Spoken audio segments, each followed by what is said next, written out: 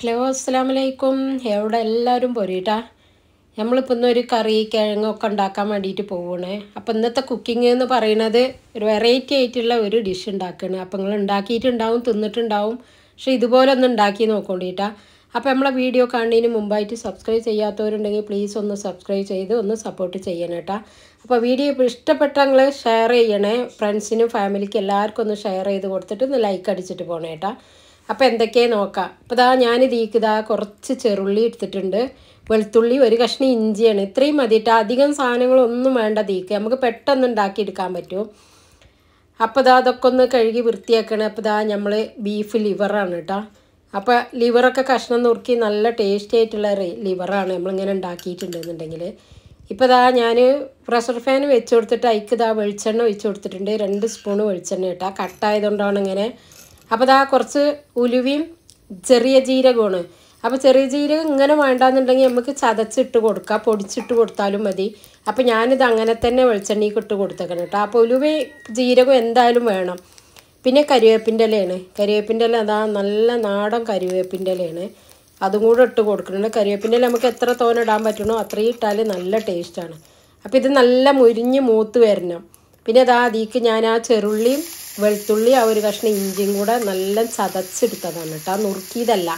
നമ്മളിങ്ങനെ ചതച്ചിക്കാണ്ടൊക്കെ വെക്കുമ്പോൾ നല്ല ടേസ്റ്റാണ് ലിവറൊക്കെ കേട്ടോ. ലിവർ നല്ല നമ്മൾ ബീഫൊക്കെ വെക്കുമ്പോൾ ഇങ്ങനെ ചതച്ചിട്ട് കാണ്ടൊക്കെ വെച്ചാൽ നല്ല ടേസ്റ്റ് ഉണ്ടാവും. അപ്പോൾ ദാ അത് നല്ല മൂത്ത് വരണം. എന്താ വെച്ചാൽ ഇങ്ങനെ ചതക്കുമ്പോൾ നമ്മൾ ചട്ടിന്റെ അടിയിൽ പിടിക്കും. വെളുത്തുള്ളി ഇഞ്ചിയൊക്കെ അല്ലേ? അപ്പോൾ നല്ല മൊരിയിച്ചെടുക്കണം. അതിലേക്ക് ഇതാ ഞാൻ ഒരു പിടി മല്ലിച്ചപ്പും ഒരു ചെറിയ തക്കാളിയാണ് കേട്ടോ. ആ തക്കാളി വേണമെന്നില്ല. പക്ഷെ എന്നാലും നമ്മളൊരു ചെറിയ തക്കാളി ആ ഒരു ടേസ്റ്റിനും വേണ്ടിയിട്ട് ഇടണം. അപ്പോൾ ഇതാ സൗണ്ടൊക്കെ ഒരുമാതിരി ഉണ്ട് കേട്ടോ. അപ്പോൾ പനി ജലദോഷമൊക്കെ ആയ കാരണം കൊണ്ട് സൗണ്ടൊക്കെ പോയിട്ടുണ്ട്.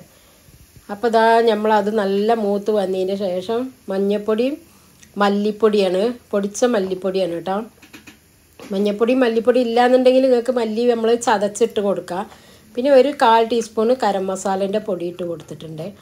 അപ്പോൾ ഇതിലേക്ക് നമ്മൾ മെയിനായിട്ട് കുരുമുളക് പൊടിയാണ് ഇട്ട് കൊടുക്കുന്നത് അപ്പോൾ ഞാൻ കുറച്ച് മുളക് പൊടിയും കൂടെ ഇട്ട് കൊടുക്കുന്നുണ്ട് നമ്മൾ വീട്ടിൽ പൊടിച്ച മുളക് പൊടിയാണ് കേട്ടോ അപ്പോൾ ഒരു സ്പൂൺ മുളക് പൊടിയും കൂടെ ഇട്ട് കൊടുത്തിട്ട് നല്ല ഒന്ന് മൂത്ത് വരണം. നമ്മൾ ഏത് മസാലപ്പൊടി ഇടുകയാണെന്നുണ്ടെങ്കിലും ആ എണ്ണയിൽ കിടന്ന് നല്ല മൂപ്പിച്ചെടുക്കണം കേട്ടോ അപ്പോൾ അതിന്റെ പച്ചമുളം മാറുമ്പോഴാണ് നമ്മൾ എന്ത് കറിയാണെങ്കിലും ആ ഒരു ടേസ്റ്റ് കിട്ടുള്ളൂ. ആ പച്ചച്ചോയ ഉണ്ടായാൽ തന്നെ നമ്മൾ എന്ത് കറി ഉണ്ടാക്കിയാലും അതിന്റെ ആ ഒരു ടേസ്റ്റ് പോകും.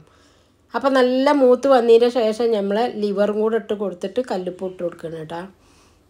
ഇപ്പോൾ ഇതാ ഞാൻ വലിയൊരു സ്പൂൺ ഒരു സ്പൂൺ കുരുമുളക് പൊടിയാണ് കേട്ടോ. നല്ല എരിവാണ് അതിന്. നമ്മൾ ലിവറൊക്കെ ഉണ്ടാക്കുമ്പോൾ പറഞ്ഞാൽ നല്ല എരിവോട് കൂടി ഉണ്ടാക്കുമ്പോഴാണ് അതിന്റെ ആ ഒരു ടേസ്റ്റ് കിട്ടുള്ളത്. കുരുമുളക് പൊടിന്റെ ആ ഒരു ടേസ്റ്റ് വരണമെന്നുണ്ടെങ്കിൽ നമ്മൾ കുരുമുളക് പൊടി കുറച്ചിട്ട് കൊടുക്കണം. അപ്പോൾ വെള്ളം നമ്മൾ ഇതീത്ത വെള്ളം തന്നെയാണിത് ഇപ്പോൾ ഇതാ നമ്മൾ എല്ലാം റെഡിയാക്കി കുക്കറൊന്ന് മൂടി വെച്ചിട്ട് രണ്ട് മൂന്നാൽ വിസിലടിച്ചിട്ട് നമ്മൾ കുക്കർ തുറന്ന് വെക്കാം. ഇപ്പോൾ ഇതാ ഞാനിത് ഇതിന്റെ ഒരു വീഡിയോ ഞാൻ ഇട്ടീന്നിട്ട് കാണാത്തവരുണ്ടെങ്കിൽ ഒന്ന് കണ്ടു നോക്കി ഇത് എന്താ അറിയുക നമ്മളെ കൂർക്കയാണ്. നമ്മൾ കൂർക്കാന്ന് പറയും. ഇതിന് വേറെ എന്താ പേര് എന്ന് എനിക്കറിയില്ല. അറിയണവരുണ്ടെങ്കിൽ ഒന്ന് കമന്റ് ചെയ്യണം. ഓരോ സ്ഥലത്തേക്ക് ഓരോരോ പേരുണ്ടാവുമല്ലോ. അപ്പോൾ ഇത് നമ്മൾ കുറച്ച് അന്ന് ഉണ്ടാക്കിയതിന്റെ വാക്കിയാണ് കേട്ടോ അപ്പോൾ ഇതൊരു ടിപ്സ് എങ്ങനെയാണെന്ന് വെച്ചാൽ നമ്മൾ കൂർക്ക വരണ്ടി നല്ല ചാക്കിലൊക്കെ ഇട്ട് അടിച്ച് വരണ്ടിയിട്ടൊക്കെയാണ് നമ്മൾ എടുക്കൽ കയ്യുമലൊക്കെ അതിന്റെ കറാവും. അപ്പോൾ ഇങ്ങനെ ഉണ്ടാക്കി നോക്കോണ്ട് നിങ്ങൾ കല്ലുപ്പിട്ട് കൊടുത്തിട്ട് നമ്മൾ കിഴങ്ങ് വേവിക്കണ പോലെ ഇങ്ങനെ വേവിച്ചെടുക്കുകയാണ് ചെയ്യണത്.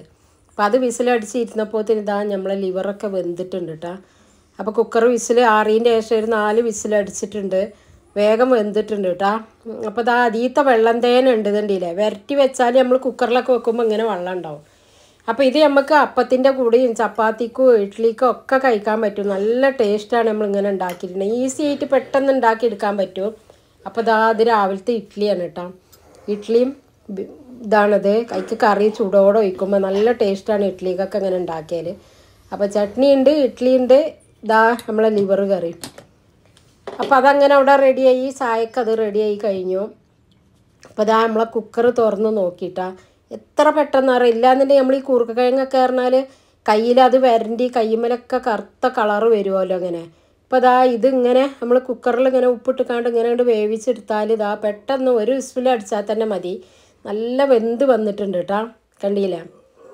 അപ്പോൾ ഇത്രയും കാലം നമുക്ക് ഇതൊന്നും അറിഞ്ഞിരുന്നില്ല. ഇപ്പം ഏതായാലും ഇപ്പോൾ ഇതിങ്ങനെ ഒന്ന് ഉണ്ടാക്കി നോക്കാമെന്നും പറഞ്ഞിക്കാണ്ട് അങ്ങനെ അടിച്ച് ഉണ്ടാക്കി നോക്കിയതാണ്. സാധാ നമ്മൾ കിഴങ്ങ് വേകാൻ വെക്കുമ്പോഴും നമ്മളിങ്ങനെ കുക്കറിലൊക്കെ വേവിച്ചുകാണ്ട് ഇങ്ങനെ തോലി കളയലല്ലേ? അപ്പോൾ ഇതും നമ്മൾ കൂർക്ക കിട്ടിയാൽ നിങ്ങളെല്ലാവരും ഇതുപോലെ ഇങ്ങനെ ഉണ്ടാക്കി നോക്കൊണ്ട് ഈസി ആയിട്ടുണ്ടാവും കേട്ടോ അപ്പോൾ അതാ എല്ലാം നമ്മൾ തോൽ കളഞ്ഞെടുത്ത്. ഇല്ലാന്നുണ്ടെങ്കിൽ നമ്മൾ തോൽ കളഞ്ഞ് ചാക്കിലിട്ട് അടിച്ച് എന്നിട്ട് പിന്നെയും നമ്മളത് വരണ്ടി എടുത്ത് എന്നാൽ തന്നെ അതിമ അതിന്റെ തടി മുടി എന്ന് പറഞ്ഞാൽ ഉണ്ടാവും വേര്. അപ്പോൾ അത് റെഡി ആയിട്ടുണ്ട്.